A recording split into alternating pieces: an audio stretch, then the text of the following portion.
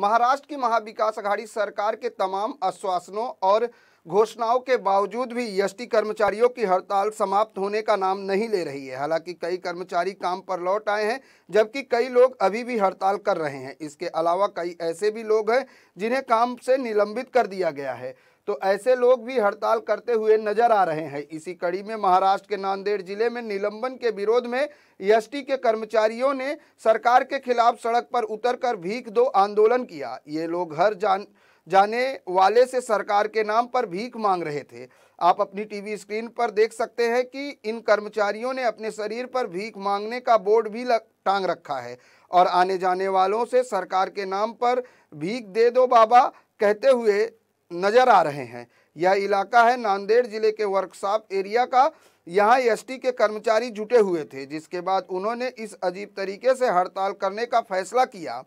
ST कर्मचारियों का कहना है कि सरकार की नाकामी की वजह से आज उन्हें मांगने की नौबत आ गई है।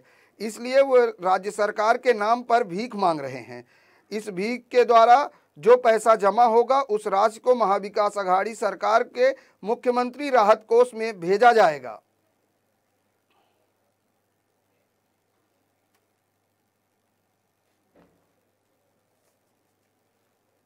माझं नाव साधना उखळे टी आर टे लिपिक पदावर कार्यरत आहे आणि मी मला बडतर्फ केलेलं आहे. आणि हा सरकारच्या नाकर्तेपणामुळं आम्हाला आज भीक मागण्याची पाळी आलेली आहे. आम्ही स रस्त्यावर वितरून भीक मागत आहोत. आमच्या लेकरा बाळांना खाण्यासाठी किंवा फीससाठी सुद्धा पैसे नाही आहेत. आम्ही भीक मागून या सरकारला याची तरी लाज वाटते का हे ते आम्ही भीक मागण्यातून यांना पाहू. आता सरकार किती कर्तेपणावर त्याच्यात जागते. आणि आमच्या इथले पालकमंत्री आहेत जे आमच्या आमच्या पालकत्व त्यांनी आम्हाला काहीच पाहिलेलं नाही आजपर्यंत.